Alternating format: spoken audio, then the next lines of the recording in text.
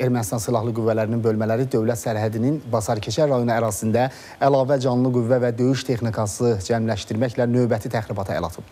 Müdafiə Nazirliyindən verilən məlumata görə qarşı tərəf bu gün saat 12-dən etibarən Kəlbəcər rayonu ərazisində yerləşən Azərbaycan ordusunun mövqelərini atəş altında saxlamağa cəhd edib.